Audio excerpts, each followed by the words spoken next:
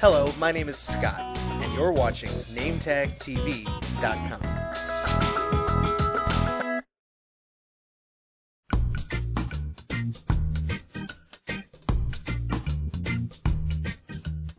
I hate to be the one to tell you, but testimonials, adjective, even a huge write up in the local paper, not enough. Customers need to see you doing what you do. But first, a little mini lesson in buyer behavior. Because when a client is seeking you out, there's a few cultural factors you should be aware of. Number one, confusion. As an entrepreneur, it's highly likely that customers have no idea what you do all day. Sadly, the majority of the service offerings out there, they're pretty poorly defined. You don't want to give clients a reason not to investigate you further. Let them see you doing what you do. Number two, buyer's remorse. Please, Scott, give me a reason that when I buy this, I won't regret it later. Yeah, that's the silent dialogue of your clients. Unfortunately, we live in a culture of sales resistance. Customers have been advertised to, marketed to, duped, fooled, conned, scammed, sold to, and screwed over too many times, and they're tired of it. They're skeptical. They require confidence before deciding to buy. You got to let them see you doing what you do. Third barrier social proof.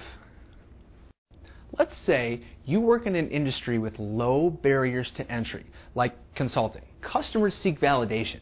They need proof that you're the real deal. Because they could easily go to somebody's website. Well, let's see, uh, this guy looks like a marketing consultant, but he could be living with his parents. Look, there is no better form of proof than a working example. Let customers see you doing what you do. Here's our fourth barrier competence is assumed. If you go out to dinner, you pretty much expect that the chef, he knows how to cook, right? See, we live in a choice saturated market.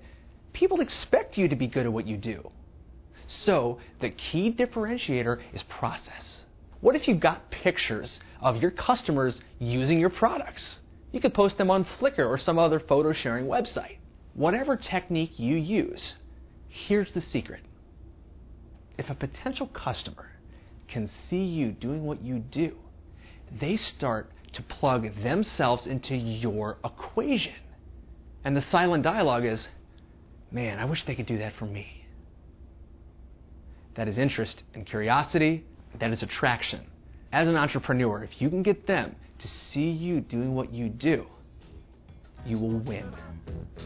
Stick yourself out there today.